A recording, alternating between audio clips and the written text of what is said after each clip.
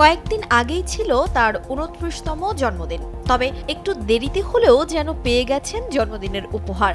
আর সেই উপহারের খবর নিজেই জানিয়েছেন বলিউড অভিনেত্রী কিয়ারা আদভানি।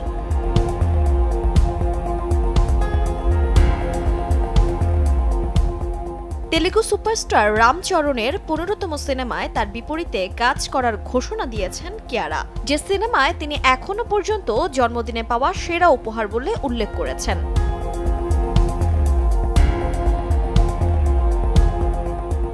জন্মদিনে এক বার্তায় কিয়ারা আদবানি জানিয়েছেন, এটা এখনও পর্যন্ত পাওয়া আমার অন্যতম সেরা জন্মদিনের উপহার। এই বিখ্যাত সংস্থার সঙ্গে কাজ করতে একদিকে যেমন আগ্রহী তিনি, তেমনি একটু ভয় হচ্ছে। কবে শুট শুরু হবে সেই অপেক্ষাতেই রয়েছেন এই অভিনেত্রী।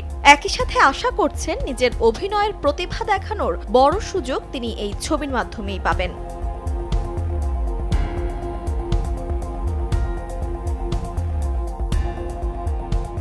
ভারতীয় গণমাধ্যমের খবর অনুযায়ী রামচরণের পনেরোতম ওই সিনেমা মুক্তি পাবে তেলেগু, তামিল, হিন্দি ভাষায়। সিনেমাটি পরিচালনা করবেন এস শঙ্কর। যৌথভাবে প্রযোজনা করবে শ্রী ভেঙ্কটেশ্বর ক্রিয়েশন ও pan India films.